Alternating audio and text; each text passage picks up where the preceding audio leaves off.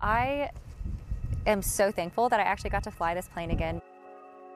Honestly, I feel like I'm on cloud nine. It's kind of surreal. I've flown hundreds of sorties between uh, what happened back in 2020 and today, but today this one just felt, it felt different, especially going back out onto the range uh, for the first time in this jet and flying it for the first time since uh, I landed it with the gear up. Getting it back up and running was uh, a little daunting of a task when we got tasked with doing it. We've never had one belly land like it did.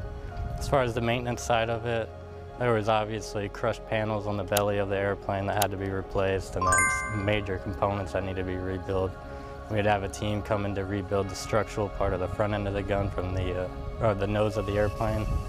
We're can managers and we, we rebuild airplanes on like a much smaller level, but this one was like a full group effort. To know that we took an airplane that had been down for almost two years, it was out of the, the fight, there was still some questions if it was even rebuildable. Uh, and in a matter of a couple weeks, we got our specialist team in there and we got it rebuilt.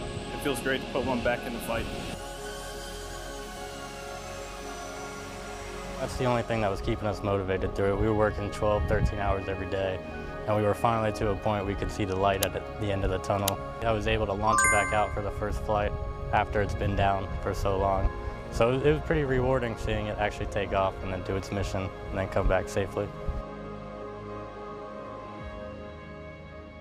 I just want to give all of the credit um, to the maintainers actually who put this back together because after the condition that I left it in, I cannot imagine um, the blood, sweat, and tears I had to go into um, restoring it. So I just want to say thank you and uh, and just to the Air Force in general of like how they uh, prepare for this type of event because whether I was uh, just learning how to fly or the experience that I had leading into it, uh, I know that I was fully prepared for uh, handling any situation.